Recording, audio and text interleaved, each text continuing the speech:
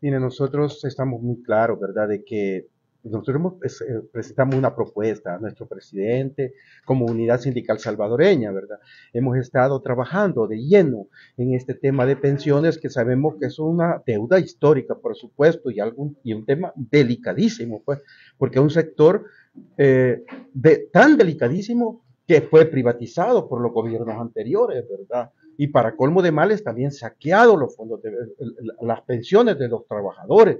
Entonces, nosotros sabemos que para ir mejorando, esto tiene que ir paulatinamente, por supuesto, ¿verdad? Viendo de qué manera los recursos se pueden ir adquiriendo.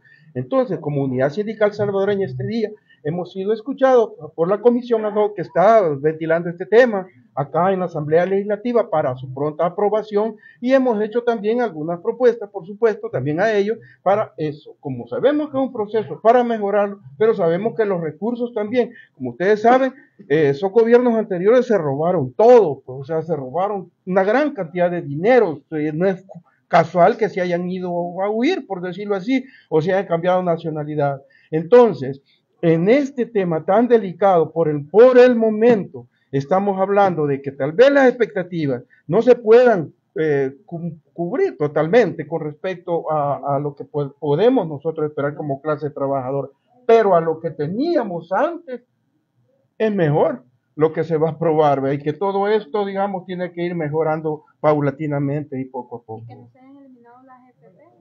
Mire, nosotros consideramos y yo le voy a hablar así también como un sector de trabajadores organizados dentro de lo que es el Seguro Social y que formamos parte de la unidad sindical salvadoreña, que yo considero que esta es una democracia. Pues.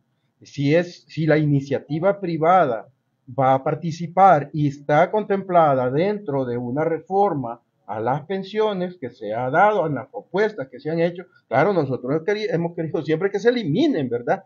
Las AFP que se eliminen totalmente, pero también sabemos que si hay libertad en el caso de en la iniciativa privada, ¿verdad? Que pueda participar y todo eso, y si de alguna manera, pues todo va a ser para contribuir de aquí para allá a esta reforma, para el mejoramiento de las pensiones, pues la verdad que esas son decisiones porque tienen que tomar acá los señores diputados, ¿verdad? Nuestro presidente ha contemplado si se encuentran ahí las AFP todavía, claro, pero para esos motivos Usted sabe de que va a haber un instituto salvadoreño de pensiones, ISP. ¿Qué significa eso? Significa que va a ser el ente rector. No nada que ver con las AFP, ¿me entiende? Nada que ver. Para eso vamos a tener un ente rector. ¿Y eso qué significa? Entonces los ahorros, o mejor dicho, nuestros recursos como el tema pensiones, van a ser primeramente Dios bien administrados. Don Ricardo, ¿cuál es su valoración respecto a que las personas que utilizaron el 25% de sus ahorros y asimismo como también las personas por eh, invalidez no van a tener un aumento en las pensiones? ¿Cuál sería su recomendación que le podría brindar a los diputados? Mire, nosotros sabemos que también ese es un tema bien delicado porque en primer lugar ese recurso se retira, pero es una maniobra bastante, una argucia se puede decir de las AFP, primero para incrementar cinco años, y aumentar el porcentaje o aumentar ese dinero que era de un cotizante, de un trabajador, prestárselo a usted y también aumentar interés. Entonces, eso lamentablemente, eh, decir, muchos compañeros trabajadores lo retiraron. Sin embargo, no están obligados a, devolver ese dinero. No están obligados para nada. Ni se aumenta el, tiempo de jubilación. Solo que en el, se puede ver reflejado en su, en, en, lo que va a ser la pensión o en la transacción que se Tal vez en el, en el monto. Tal vez Jaime Ábalos nos puedes explicar si es una pensión digna que va a recibir. En, cuanto a su opinión, cualquiera de los dos, sobre a que el costo de la canasta básica todavía continúa en aumento y dentro de la reforma pues tampoco se plantea un incremento a, eh, la, al salario mínimo. Bueno, en primer lugar, hoy en día estamos tratando directamente una reforma de pensiones que para nosotros como clase trabajadora reúne las condiciones y cumple con algunas expectativas como clase trabajadora de lo que le planteamos el 7 de octubre del año recién pasado al presidente Nayib Bukele. Pero además, estamos conscientes que esto es un reto enorme. El gobierno creo que está haciendo esfuerzos, pero de verdad históricos, para mejorar este tema de pensiones. Yo creo que esto es un paso importante que se está dando y que como clase trabajadora se lo agradecemos al presidente Nayib Bukele. Sabemos que el, costo de vida sigue siendo alto en este, en este país y en el mundo entero, que el costo del petróleo y el, problema del petróleo en el Medio Oriente también afecta este, este proceso en nuestros países, en la economía, pero estamos conscientes también que el presidente Nayib Bukele está protegiendo el bolsillo de los salvadoreños.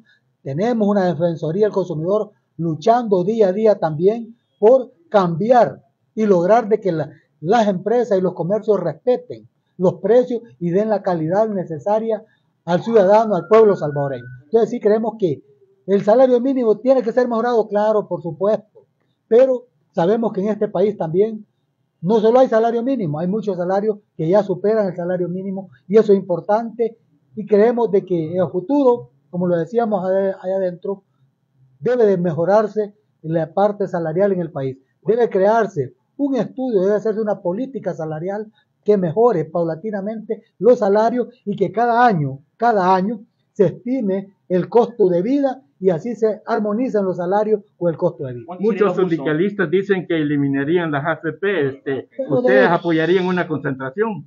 Nosotros estamos claros que la AFP, a través de este proyecto de ley, de esta reforma, pasan precisamente a no ser un instrumento que dirige, sino solo a estar traspasando en alguna medida papeles. Y eso está claro. Entonces, realmente las AFP ya no van a jugar el papel protagónico que tenían, controlando las aseguradoras, cobrando a través de las aseguradoras, ya no van a tener el control de generar también las negociaciones que pagaban negociadores. Esta nueva reforma los deja, como nosotros dimos como pueblo salvadoreño, sin armas para seguir robando a la clase trabajadora. Así que, y eso es lo importante, y eso lo vamos a apoyar y lo vamos a defender en las calles, esta propuesta del presidente Nayib Bukele. ¿Cuáles son los elementos que consideran ustedes debe de contemplar esa, esa propuesta, este proyecto? Bueno, nosotros hemos mencionado algunos elementos importantes que deben de señalarse. Por ejemplo, debe de generarse realmente una mayor cobertura, hacer el, el sistema accesible a sectores que pueden pagar, pero que actualmente en esa ley SAP no permite y que esta nueva ley lleva contemplado a, aperturar el espacio para que gente de la economía informal, gente profesional puedan cotizar al sistema. Y eso es importante. Nuestros hermanos en el extranjero, la diáspora, ya va a tener acceso a poder cotizar pensiones, posiblemente no para ellos, pero van a poderle cotizar a un familiar para que pueda retirarse y gozar de una pensión en nuestro país.